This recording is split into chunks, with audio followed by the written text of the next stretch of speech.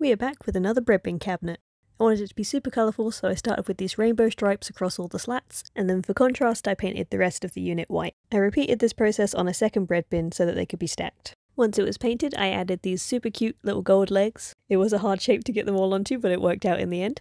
I then stacked the bread bins on top of each other and screwed them together. And as a finishing touch to match the legs I painted the handles gold. And here is my finished bathroom cabinet. I'm super happy with how it turned out. If you haven't seen it then please check out our previous bread bin cabinet.